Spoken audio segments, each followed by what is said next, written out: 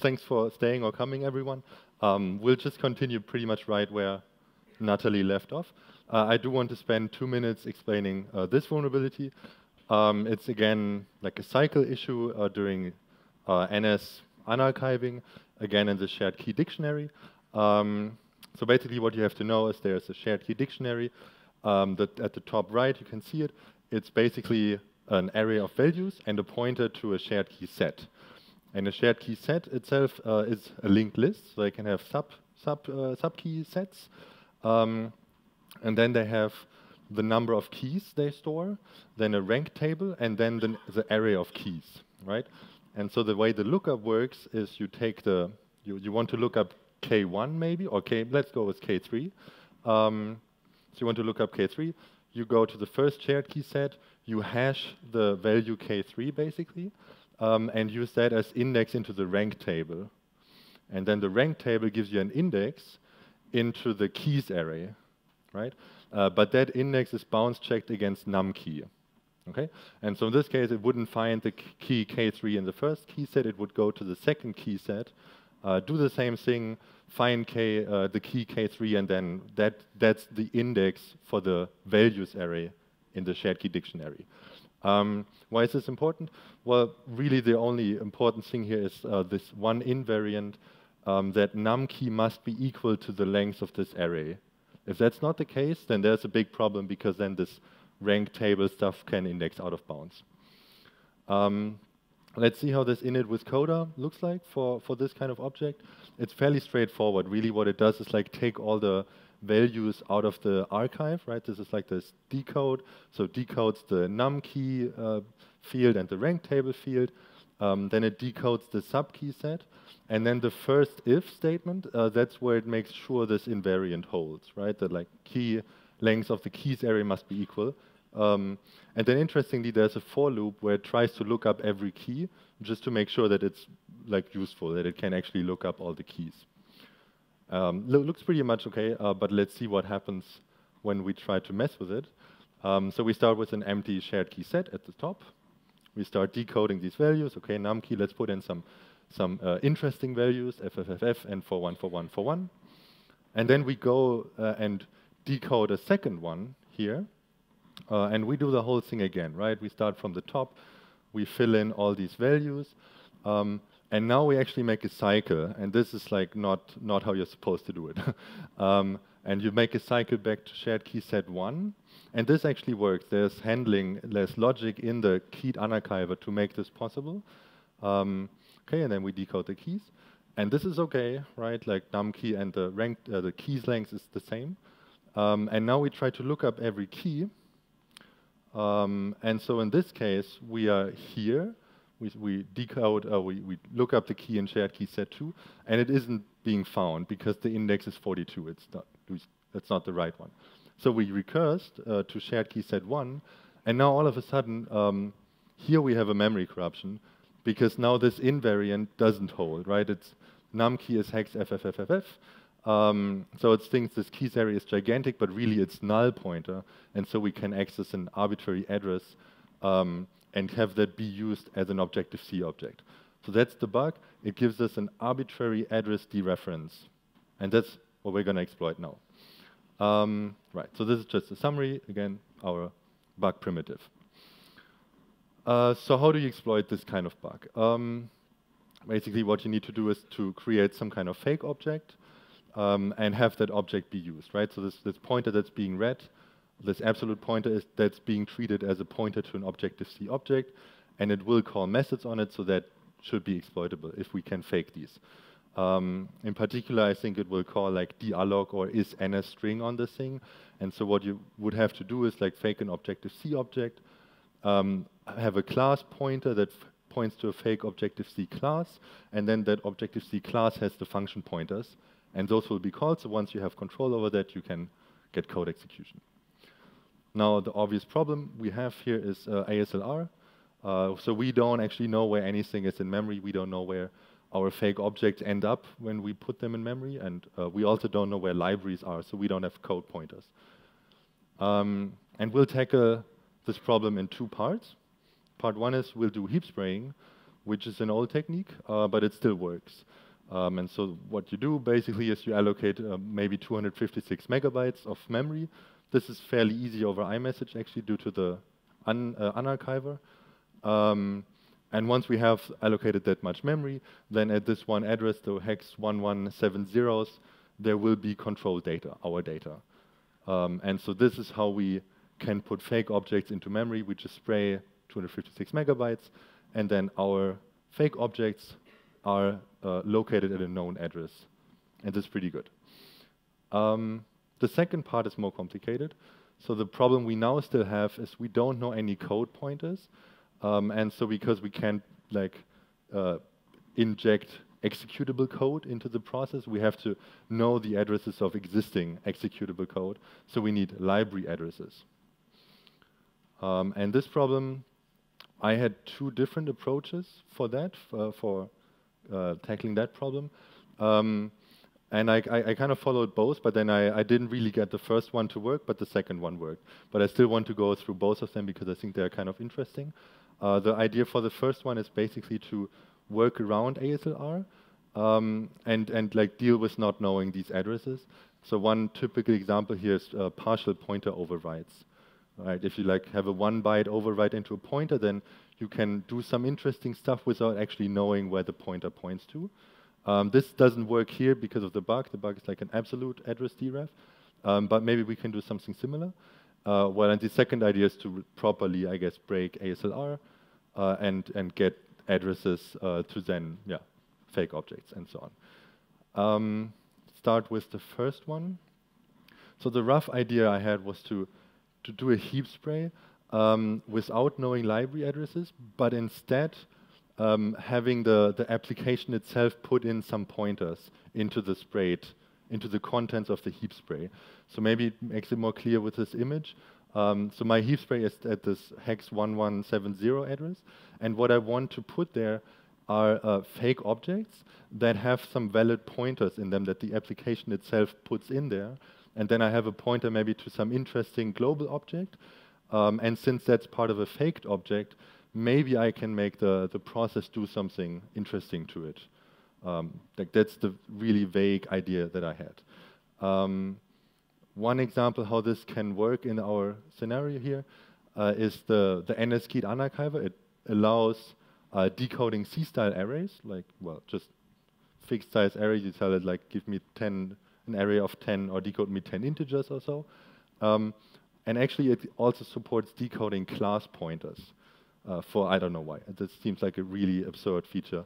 Um, but what, you, what this lets you do is it lets you create uh, a linear array in memory with pointers to classes. And then if you look at Objective-C objects, um, and in memory, an Objective-C object is just a pointer to a class and then the fields that it has, right? Uh, and so with that, we can suddenly create um, somewhat valid-looking Objective-C objects without knowing addresses. So to make this more clear, um, the picture at the bottom, um, the archive we put in pretty much just has the string NS array in it, where it's like this is an array of classes and each entry is the class NS array. So I just need the name of the class. And then the keyed unarchiver will go ahead and like look up the name of this class, look up the class object, and put in the pointer to that class into this memory buffer. And so I end up with this memory dump on the right side, um, and now this suddenly looks like a legitimate NS array because the first quad word is a pointer to a class, the NS array class. Um, and so now I've been able to fake objects without actually knowing any addresses. Um, I pursued this a bit further. I, I guess the furthest I got was I, uh, I was able to basically free some object and then make the application um, lower or decrement some ref count. Um, now that, that ref count would also be uh, a pointer to a class, or like the, the thing that would be where the ref count would be decremented was also pointed to a class. Um, and so it just so happened that if you look at a class object, the first quad word is again a pointer to a class, a meta class, and the second quad word is the pointer to the superclass, right? So Objective-C has inheritance, um, and these class objects, the, the second quad word is always the pointer to the superclass. And now due to this reference count decrement, uh, it was I was able to decrement the second pointer to the superclass, um, which is kind of hilarious because it lets lets you change the, the inheritance hierarchy at runtime because this is writable, uh, but it's not immediately useful. At least I couldn't really see uh, something immediately yeah, to do with this. Um, so I kind of gave up on that idea. Um, but I still think it's, it could be done. Um, there's probably more you can do, like more primitives you can gain by, by faking objects in a similar way or doing other clever things. So that's why I wanted to include it here. Um, the other option that ended up working is, well, properly defeating ASLR, which, uh, which has two steps or two parts to it. Uh, the one, the first part is we need some kind of communication channel to leak data back. Um, and the second part is we have to exploit the bug in, in such a way that we get some info over this uh, communication channel. Uh, so let's deal with the channel first. Um, here's a screenshot of iMessage. Um, and here you can nicely see the three different states the message can be in. So the first one is read, the second is delivered, and the third is none of those. Um, and the way this works is through deliver, or I guess receipts, iMessage receipts. Um, and so there's read receipts, which say, yes, I, uh, I got this message and the user actually read it. Um, and the second type is delivery receipts. And those are sent automatically, which makes it very interesting, um, by this IM agent process that Natalie mentioned. Um, and, uh, and so we get them automatically once the message arrives in IM agent. And so this is going to be our communication channel because now we get some kind of information back uh, from the process. So let's build something cool with that, uh, an oracle. Um, on the left, there is some rough pseudocode um, about how this, this um, message processing and IM agent works and the delivery receipt sending. Um, and so the key point here is that the NS unarchiving happens before the delivery receipt is being sent. And what this gives us now um, is basically a crash oracle, because if we can trigger a crash during the unarchiving, then we won't see a delivery receipt. And if we don't crash, then we see a delivery receipt. So all of a sudden, we have a one, basically one bit uh, information leak. Did it crash? Did it not crash? And now the remaining challenge is to crash when some condition is met so that we infer some kind of, uh, some piece of information from that. Okay, so that's the communication channel. Uh, let's go to exploitation. Um, before we do that, um, the, some, some iOS internals, uh, there's this thing called DYLD shared cache. The idea is you take all the, or the majority of system libraries and you pre-link them into one gigantic binary blob, uh, which is around one gigabyte in size, so it's pretty gigantic, and that is shared uh, and mapped in all user space processes on iOS. Um, and there's three things about this that are very interesting. The first is it's always mapped in this address region of 4 gigabyte between 1.8 and 2.8 uh. Um, the second is the randomization granularity is 4,000 hex 4,000 bytes um, because of large pages in iOS. Um, but the third is the most interesting one. Um, the shared cache is actually mapped at the same address in every process uh, on this on the same device. So it's only randomized per boot is, is what this means. Um, which means that, for example, if we crash IM agent, we know that when it respawns the next time, the shared cache is still at the same address. Okay, so let's build an oracle. Um, the, the bug that I showed uh, that gives us the arbitrary address deref primitive um, can is, is basically gives us this oracle function. So we put in some address, and it will only not crash if the address is mapped, and then if the value that's at that address is either zero or if it like looks like a valid Objective-C pointer, which means it can have the most significant bit set, then it, it looks like a tag pointer, or it actually points to a valid Objective-C thing. Um, so only if these conditions are met will it not crash when we give it an address. Otherwise, it will crash. Um, and now we can observe this crash because we either get a delivery receipt or we don't. So that's the idea. Um, so what do we do with this? Part zero, uh, offline, so that this doesn't need network connection. Um, we will basically compile a profile of a shared cache um, given this Oracle function. So this is really simple. You, you take the DYLD shared cache, you get it from IPSW, um, whatever. Um, so you have this huge binary, you take the Oracle function and you just run it over the entire shared cache, and the result is basically like a bitmap, right? Bit 1, bit 0, bit 1, uh, depending on whether this function returns true or false. Um, and so here on, at the bottom you can see an example profile, and maybe the white area means this is where it wouldn't crash, and the black area means this is where it would crash uh, when probing. Uh, in practice, there's a third state, um, because, for example, there's a writable area in the shared cache, and you don't know if that at runtime what, what will be there. Um, but it makes it's easier to explain with a two-state, sorry, uh, with a two-state profile. Um, so the next step is then to do some linear uh, memory scan. Um, we know the, the possible region where the shared cache is mapped. You can see it on the right in this image. Um, and so we just go in like, for example, 256 megabyte increments and just go over this range, um, query this oracle, and at some point it will return true, or like we will get a delivery receipt, and then we know, okay, we have found some address uh, somewhere in the shared cache, like maybe this 19007400. Okay, the next thing we do is again offline. Um, we have to now compute all the possible base addresses sorry, um, that would lead to us not crashing on this particular address that we just probed. Uh, and this is again very easy. Um, we just go in page size steps over our shared cache profile. Um, and now every, well, every in this picture, every white region uh, is now a potential candidate right? Because this this is the the the eight bytes that we could have just probed uh, in this case.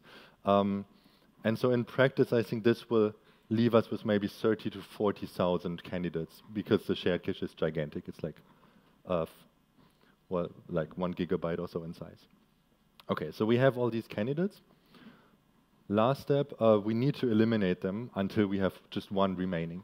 And I think this is either best to explain with an image. So suppose I just have five, five candidates uh, left here, um, and they are now all mapped at different addresses. That's why they're like shifted, right?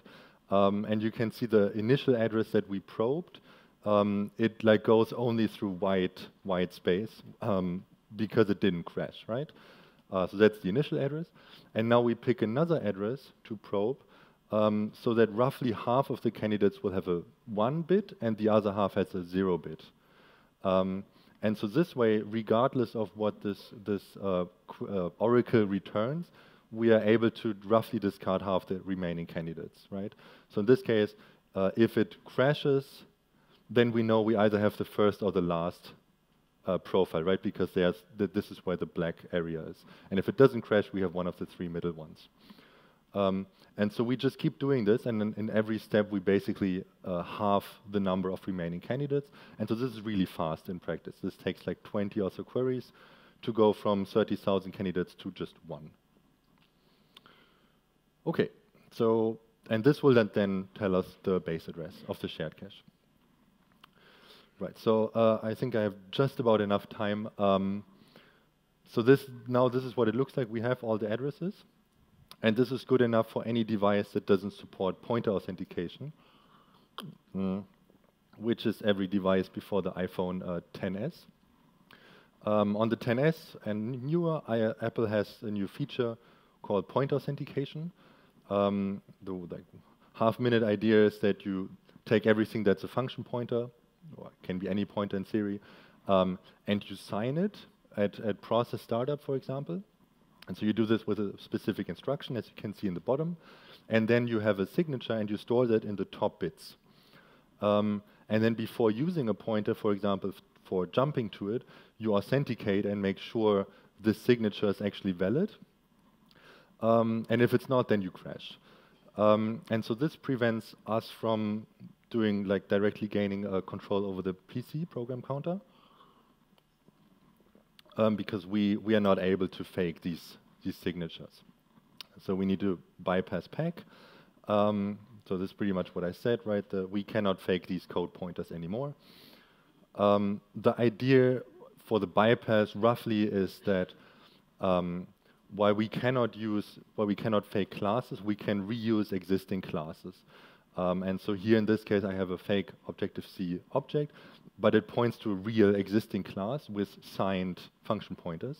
Um, and this will ultimately give me some form of arbitrary Objective-C method call primitive, uh, where we can call any method or almost any method with pretty much controlled arguments. Um, and this is powerful enough. This is uh, all, all that's necessary. Okay. So we can now execute arbitrary Objective-C methods also outside of the sandbox because this was on iOS 12.4 where the, the unarchiving still happened outside of a sandbox, uh, can access user data, etc. We don't care about that, we just want a calculator. Uh, the way to do it is you call this one, or one way to do it is you call this one Objective-C method um, to launch an application, named the calculator. And uh, let's see we can get that to work. Okay. So, doo.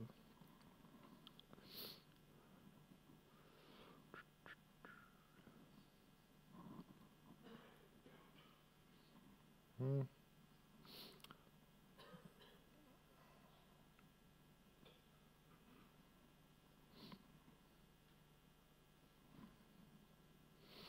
Yeah, okay.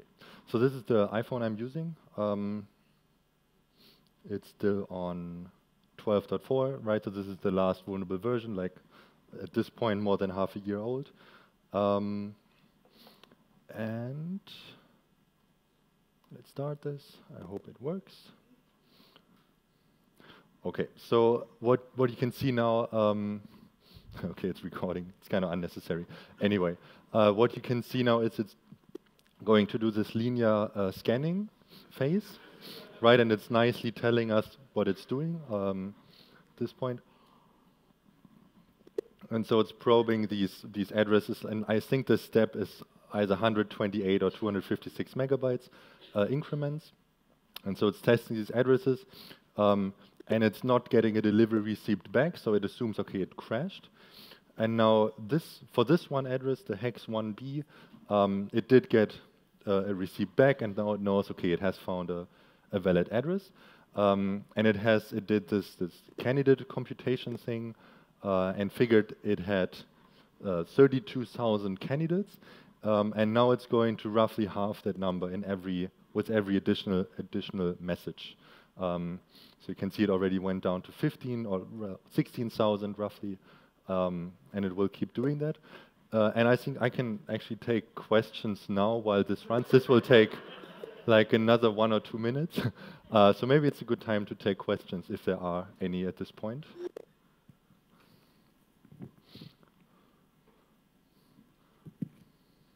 Are there? No, no, no.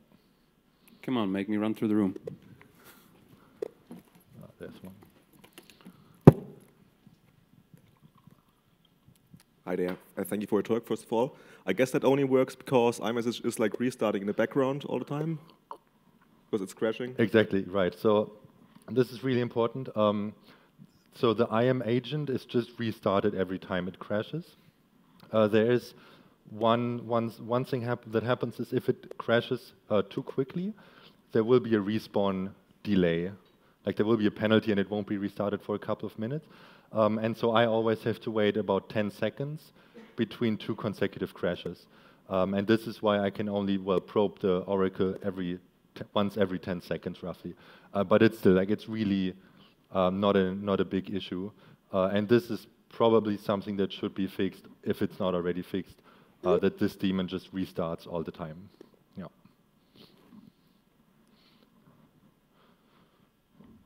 Okay, uh, almost through. I think.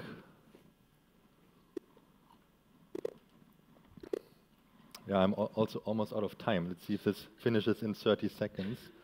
Uh, I don't think it will. Um, but yeah, so it has found the, the base address now. Uh, it's 19A2B four zeros. Um, and now it's doing a heap spray. And this is also really, um, really hacky right now. I think, so I am like doing this in, as you can say, uh, tell in 24 steps. Um, I'm very certain with some better engineering, you could do the whole heap spray in one single message and like do one single message that does heap spray plus trigger the bug, but I'm doing this in like 25 or so. Um, yeah. Sorry, Steffen. I, I hope it's going to work. It better.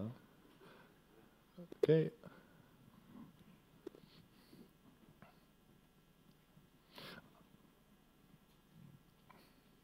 Okay, so mm, let's see.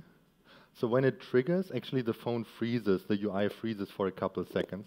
I don't know why, but I think that's what happened now because the second on the clock, the seconds don't move further. Yes. Yes.